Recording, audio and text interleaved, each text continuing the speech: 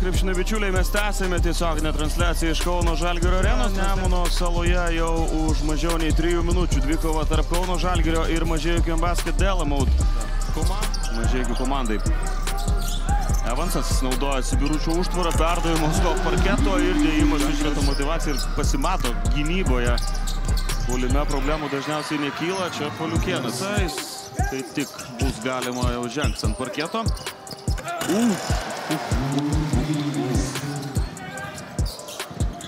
Kolinsas iškart neleido priimti kamulio Samneriui, bet galiausiai, galiausiai viskas baigėsi. Jie tikrai nori uždominuoti lentą ir tada jau prasidės visas gražumas. Mažai ekipos bandymas prieš tai Antetokumpo iš toli prametė. Stauksas dabar iš vidutinės distancijos pelno pradėjo sezoną.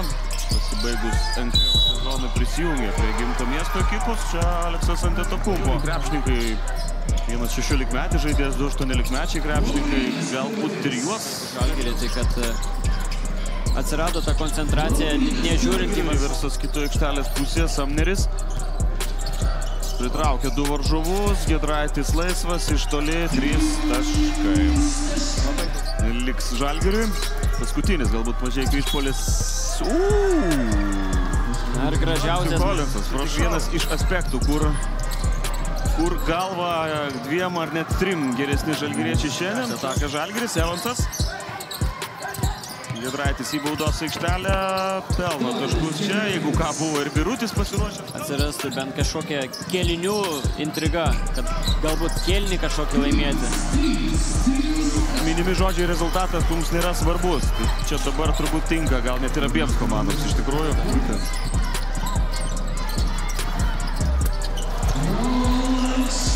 vienas. O čia nesusikalbėjo dabar Andrijauskas su Dolensu ir Lekavičius šoku. Gedraitis atgal Lekavičiui. Birutis dešinė ranka. Labai techniškai sužaidė. Dideliam žmogui pagauti tokį nuo grindų yra labai paprasta ir tas kelimo efektas, kai atakuoja tą patį Dimšą, Birutis ten po krepšių irgi pasitiko Kolinsą, gerai atmestas kamuolys, eina rūtų. Pirmąjų 30, tai kad ir, kad ir koks tu profesionalas bebūtum, tau mintis, mintis tikrai apie gerą. Kad bent jau, bent jau būtų kažkiek ilgiau galbūt pasipriešinę mažygiečiai Kauno Žalgiriui. Žalgiris laimėjęs pirmą kėlinį 31-7 reikalus, realiai ir sprendė jau pirmam kėlinį.